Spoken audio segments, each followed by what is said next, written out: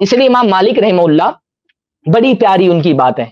इमाम मालिक के पास एक आदमी आया और उसने कहा कि मैं ये सोच रहा हूँ कि मैं हज करने के लिए जा रहा हूँ या उम्रा करने के लिए जा रहा हूँ तो मैं ऐसा करता हूँ कि जुल हलीफा के बजाय मदीना से, मस्जिद नबी से, अल्लाह के नबी की कब्र से ही एहराम बाँध करके जाऊँ।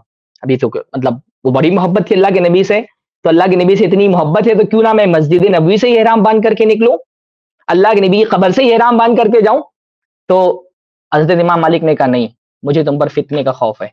अल्लाह के नबी ने मदीना वालों की मिकात जुल हलीफा तय की है तो तुम वहाँ से एहराम बांधो। तो उसने कहा कि इसमें फितने की क्या बात है? चंद मीलों का तो फासला है, मदीना से जुल हलीफा चंद मीलों की दूरी पर है तो क्या हर्ज है? अगर मैं मस्जिद नबी से एहराम बाँध, जैसे हमारे यहाँ लोग कहते हैं ना कि भाई, जो है, मना की दलील लेकर के आओ तो उसने भी कहा कि कहाँ पर मना की मस्जिद नबी से एहराम नहीं बांधा जा सकता है? अगर मैं मस्जिद नबी से इराम बाँध लू तो क्या हर्ज है? तो इमाम मालिक रहमुल्लाह ने फरमाया कि अय फितनतिन आदमो मिन अंतरा अन्नक सबकता इला फजीलतिन कस्सर अनहा रसूलुल्लाह सल्लल्लाहु इससे बढ़कर के फितना और क्या होगा कि तुम समझते हो कि एक चीज़ की फजीलत तुमको पता चली और अल्लाह के रसूल को नहीं पता थी? तो अल्लाह के नबी को नहीं पता चली, तुमको पता चल गई। हर बिदात पर इमाम मालिक का ये जुमला फिट होता है कि इससे बढ़कर फितना और क्या हो सकता है कि नबी की पैदाइश का दिन मनाना ये सवाब का काम था, ये आपको पता चल गया, नबी वसल्लम को नहीं पता था। तो अल्लाह के बंदो, हमारा दीन जो है ना, वो बहुत दलीलों से जकड़ा हुआ दीन है। यहाँ कोई छोटा सा अमल करने के लिए जब आप दीन कहते हैं तो आपको दलील देनी पड़ती है। अगर आप ऐसे उसूल निकालना शुरू कर देना कि मना की दलील खाएँ, भाई एक आदमी अजान दे रहा है, आखिर में कह रहा है, ला इल्लल्लाह मोहम्मद रसूलुल्लाह। मोहम्मद रसूलुल्लाह, उसने बढ़ा लिया। अब अजान का कलेमा तो ला इलाहा पे खत्म हो जाता है। आप उससे कहो भाई कि ये ला इला के बाद मोहम्मद रसोल्ला मत पढ़ो। तो वो आदमी क्या कहेगा? मना की दलील लाओ। कहा अल्लाह के रसूल ने कहा कि ला इला के बाद मोहम्मद रसोल्ला नहीं पढ़ सकते? आप लाएँगे दलील? हाँ ऐसे तो दिन खिलवाड़ बन जाएगा। कोई आदमी कहे कि भाई मैं रुकू, मैं एक रकात में दो रुकू करूँगा। मैं ज़्यादा खुशू से नमाज़ पढ़ना चाहता हूँ, मैं दो रुकू करूँगा। आप उसको मना करने जाए, वो बोलेगा, मना की दलील लाओ, कहाँ पे रखा है कि एक रकात में दो रुकू नहीं कर सकते? तो आप क्या बोलेंगे कि अल्लाह के रसूल ने जो नमाज़ हमको सिखाई, उसमें एक ही रुकू है है ना? अगर एक रकात में एक रुकू का इजाफा नहीं किया जा सकता तो दीन में पूरी एक ईद का इजाफा कैसे किया जा सकता है? अगर एक रकात में एक रुकू नहीं बढ़ाया जा सकता है, अल्लाह के रसूल ने एक रुकू बताया तो आपको एक ही रुकू करना है, आप दो रुकू नहीं कर सकते। तो अल्लाह के रसूल ने अगर दो ईदें बनाई है तो आप तीन ईद कैसे बना सकते हैं?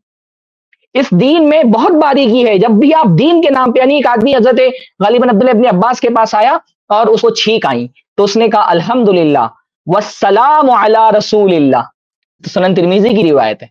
कहा, अल्हम्दुलिल्लाह वसलाम अला रसूलिल्लाह। कि अल्हम्दुलिल्लाह और सलामती हज़रत अब्दुल्ला इब्न उमर के पास है अब्दुल्ला इब्न उमर के पास। कहा, अल्हम्दुलिल्लाह वसलाम अला रसूलिल्लाह। अल्हम्दुलिल्लाह और सलामती हो अल्लाह के रसूल पर, सलाम अल्लाह के रसूल पर। इब्न उमर ने कहा, मैं भी कहता हूँ, अल्हम्दुलिल्लाह। और मैं भी कहता हूँ, सलाम हो अल्लाह के रसूल पर। लेकिन अल्लाह के रसूल ने छीक आते वक्त हमको ये नहीं सिखाया कि हम अल्हम्दुलिल्लाह वसलाम अला रसूलिल्लाह कहें, बल्कि अल्लाह के नबी ने हमको सिखाया कि जब छीक आए तो हम कहें, अल्हम्दुलिल्लाह तो मेरे भाइयों, दीन का मिजाज समझें। ये जितनी वीडियोस आपने सुनी ना, ये सारा आपको गलत कहाँ करके दे रहे हैं? आपको ये समझाने से रोक रहे हैं कि आप दीन और दुनिया का फ़र्क समझें। जब दीन के किसी मसले में आप कहेंगे कि फला चीज़ दीन है तो उसको असलन यह है कि किसी भी चीज़ को दीन करार देने के लिए आपको दलील देनी पड़ेगी, या तो अल्लाह की किताब से, या तो रसूलुल्लाह सल्लल्लाहु अलैहि वसल्लम के फरमान से।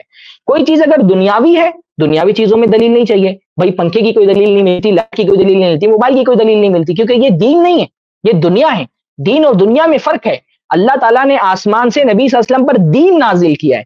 हमसे अल्लाह ताला दीन पर अमल करने के बारे में क्यामत के दिन सवाल करेगा। ये सारा खलते मबहस कहाँ लेकर के आते हैं? ये दीन और दुनिया को मिक्स कर देते तो हम जब दीन के मामले में असल ये है कि किसी भी चीज़ को दीन करार देना मना है, जब तक के उसकी दलील अल्लाह से और रसूलुल्लाह से ना मिल जाए। इस क्लिप की फुल वीडियो देखने के लिए हमारे चैनल पर ज़रूर आए।